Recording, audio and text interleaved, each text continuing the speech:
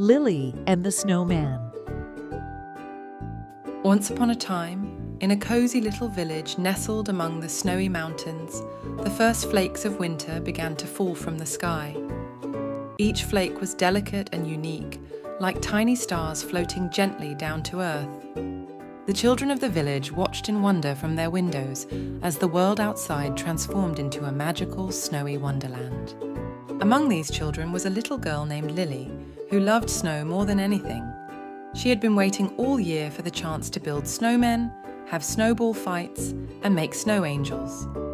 As soon as the snow was deep enough, Lily put on her warmest coat, her coziest hat, and her brightest mittens, and ran outside to play.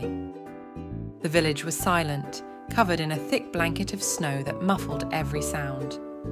Lily's boots crunched softly as she walked, leaving a trail of footprints behind her. She breathed in the crisp, cold air, feeling little icicles form in her nose. Everything was so peaceful and perfect.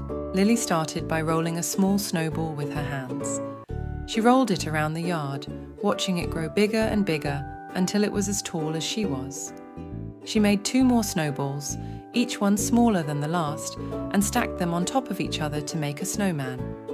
She found stones for his eyes and mouth, a carrot for his nose, and sticks for his arms. She wrapped a scarf around his neck and placed a hat on his head. Lily stepped back to admire her work, feeling proud and happy. Just then, her friends Tom and Sarah came over, their cheeks red from the cold. They were amazed by Lily's snowman and asked if they could build one too.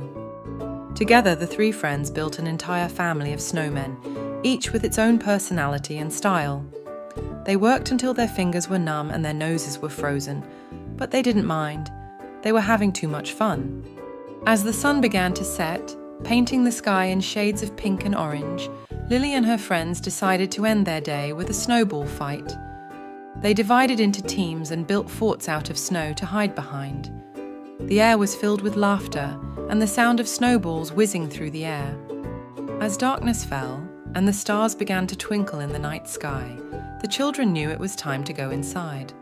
They said goodbye to their snowman family and promised to return the next day. Lily looked back at the snowy village, feeling grateful for such a wonderful day. That night, as she lay in bed, Lily thought about the snow and all the fun she had. She realised that the best thing about snow wasn't just the snowmen or the snowball fights, but the joy of sharing those moments with friends.